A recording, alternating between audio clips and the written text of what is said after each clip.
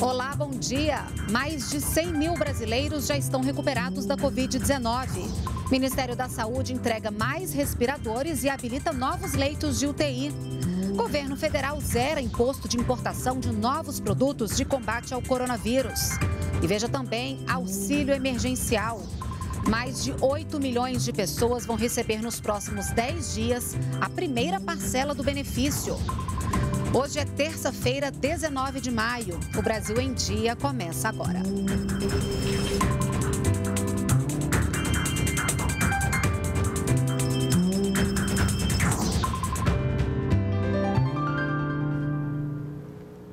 São 9 horas e 45 minutos. Nós estamos ao vivo também pelas redes sociais. A gente abre essa edição com a notícia de que mais de 100 mil brasileiros já estão recuperados da Covid-19. Vamos ao Rio de Janeiro, o repórter Maurício de Almeida conta pra gente. Oi, Maurício, bom dia.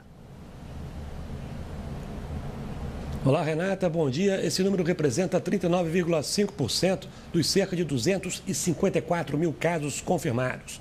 16.792 pessoas morreram por causa do coronavírus. Atualmente, a doença circula em pouco mais da metade dos municípios brasileiros.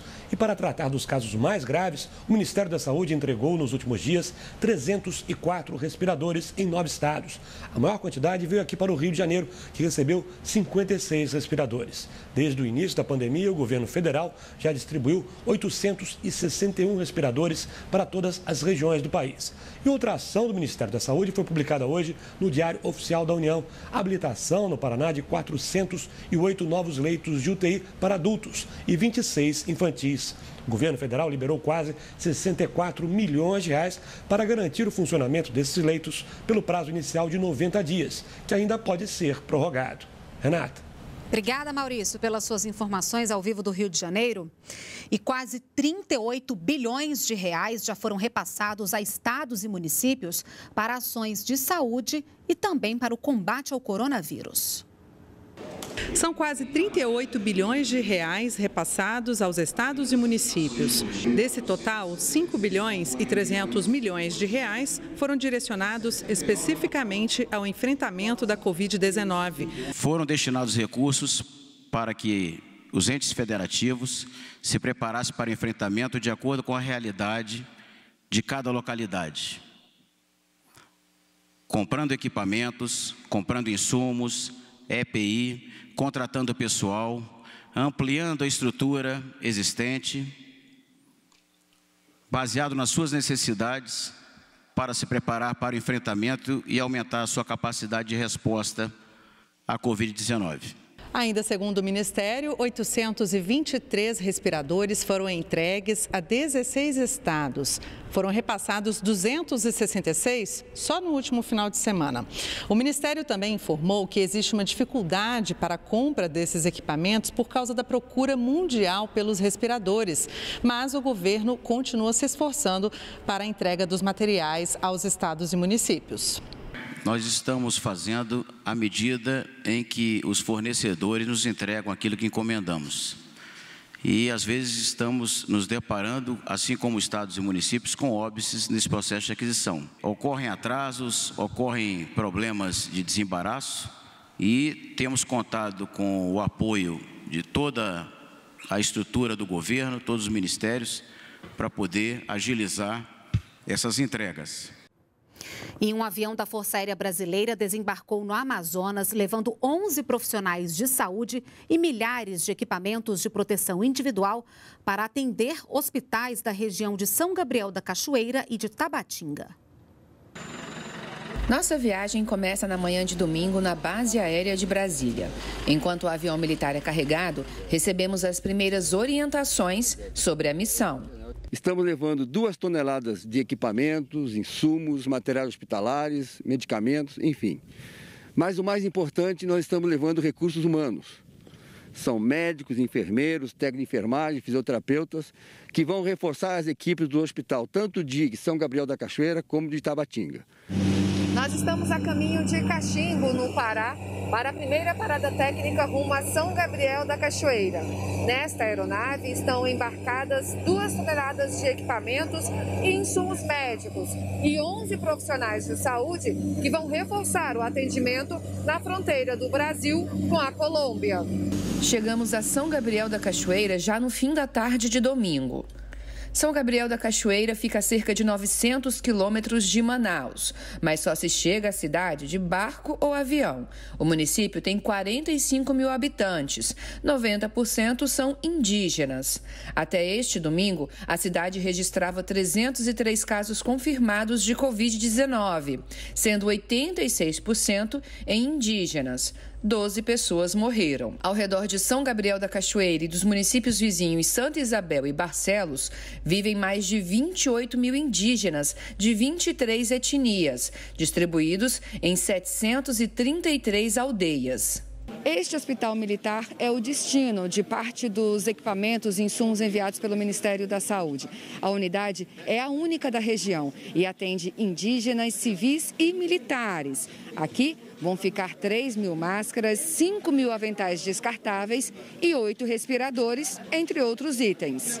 Além do material enviado diretamente para reforçar as unidades militares e o Serviço de Saúde Indígena, o governo federal repassou de janeiro a maio deste ano mais de 95 milhões de reais para o estado do Amazonas, para reforçar as ações de atendimento dos casos de Covid-19. O objetivo principal é que a informação chegue a todas as pessoas de forma que elas entendam e aceitem né, as recomendações. A nossa ideia aqui, então, não é trazer um auxílio apenas para a população indígena, mas também para aqueles, todas as pessoas, todos os cidadãos dessa região, para que tenham uma assistência melhor. Mais 118 produtos utilizados no combate ao coronavírus no Brasil tiveram o imposto de importação zerado pelo governo. Quem traz as informações para a gente é a repórter Luciana Colares de Holanda. Lu, bom dia.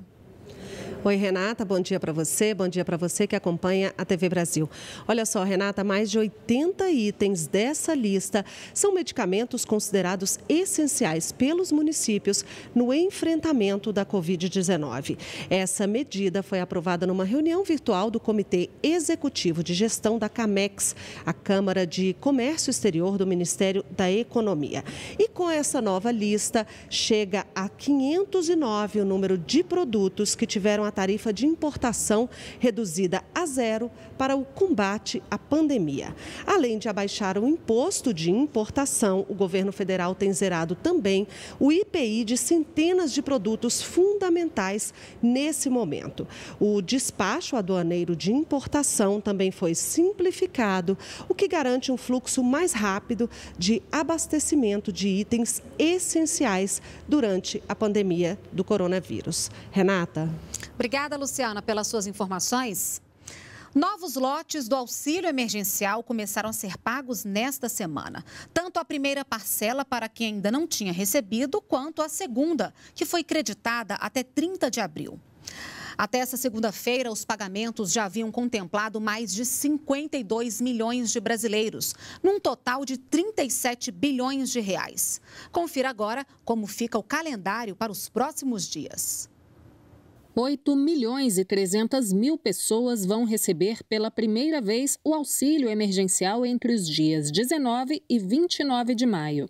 Nesta terça-feira, começam os pagamentos para os nascidos em janeiro, quarta serão os nascidos em fevereiro e assim por diante, sendo que no sábado a Caixa pagará o auxílio para os nascidos em maio, junho e julho. Com o novo calendário, a ideia da Caixa é evitar sobrecarga no sistema e aglomerações nos pontos de atendimento.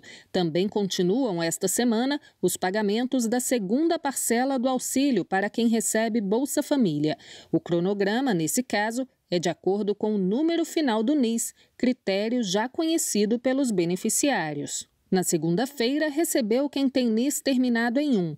Terça é a vez do NIS terminado em 2 e assim até o dia 29 de maio, quando serão pagos os beneficiários com NIS de final zero. Mas atenção, a Caixa esclarece que quem sacar a primeira parcela só em maio vai ter que esperar o mês que vem para a segunda parcela. Quem recebeu a primeira parcela agora espera um mês para receber a segunda e outro mês para receber a terceira. Recebe a primeira parcela, a segunda recebe com 30 dias e a terceira 30 dias posteriores. E quem recebe a ajuda de 600 reais pela poupança social digital aberta pela Caixa vai ter o crédito a partir desta quarta-feira, também de acordo com a data de nascimento, sempre de dois em dois meses. Por exemplo, dia 20 vão receber os nascidos em janeiro e fevereiro, e assim por diante até dia 26 de maio, quando recebem os nascidos em novembro e dezembro. Por enquanto, esse dinheiro estará disponível na conta apenas para pagamentos e compras virtuais. O saque em espécie só será possível a partir do dia 30 de maio, também de acordo com o mês de aniversário. E microempresas e empresas de pequeno porte vão ter mais uma linha de crédito para enfrentar os efeitos do coronavírus. Uma lei sancionada pelo presidente Jair Bolsonaro permite financiamentos que variam de 108 mil a 1 milhão e 400 mil reais, com prazo de pagamento de 36 meses e taxa de juros igual à Selic, que é de 3% ao ano. Funcionários do Hospital Regional da Asa Norte, em Brasília, passaram por uma capacitação com militares do Comando Conjunto Planalto. O local também foi descontaminado. O Hospital Regional da Asa Norte é referência para o tratamento da Covid-19 na capital do país. Mais uma vez, o Comando Conjunto Planalto reforçou a higienização do local. Desta vez, os militares da Marinha do Brasil fizeram a descontaminação das dependências internas do hospital, com a aplicação de produto nos corredores, paredes, janelas, bancos e placas. A medida faz parte das ações de prevenção ao novo coronavírus, feitas pelos militares em todo o país. A ideia, segundo o Comando Conjunto Planalto, é proteger a população e os funcionários que frequentam locais de grande circulação, como hospitais, estações de metrô e rodoviárias. Uma violência que muitas vezes acontece dentro de casa, cometida por pessoas conhecidas e de confiança. A campanha Maio Laranja, do Ministério da Mulher, da Família e dos Direitos Humanos, quer incentivar as denúncias de violência sexual contra crianças e adolescentes. A campanha quer dar visibilidade a esse tipo de crime, que na maioria das vezes fica perdido no silêncio das vítimas, e fala sobre a importância de se denunciar. Eu sinto medo, muito medo, mas eu não posso gritar. Se pelo menos alguém me visse e percebesse. A cada hora, três crianças e adolescentes são abusados no Brasil. Dos 159 mil registros feitos pelo Disque Direitos Humanos ao longo de 2019, mais de 86 mil foram denúncias de violações de direitos de crianças e adolescentes, número 14% maior que no ano anterior. Só em 2019 foram 17 mil ocorrências desse tipo no Brasil. Em 73% dos casos, a violência sexual acontece na casa da própria vítima ou do suspeito e é cometida por pai ou padrasto em 40% das denúncias. Nós temos pesquisas que anunciam que menos de 10% da violência sexual no Brasil é denunciada. Então, multiplique aí os 17 mil que o, que o ouvidor trouxe por 10 nós temos uma nação com muita violência sexual. Você pode ser a voz de quem ainda não sabe como pedir ajuda. Denuncie anonimamente. Importante denunciar, né? O Brasil em Dia fica por aqui. Você pode nos acompanhar também pelas redes sociais. Obrigada pela sua companhia, pela sua audiência. Ótima terça-feira. Nos vemos amanhã. Até lá. Tchau, tchau.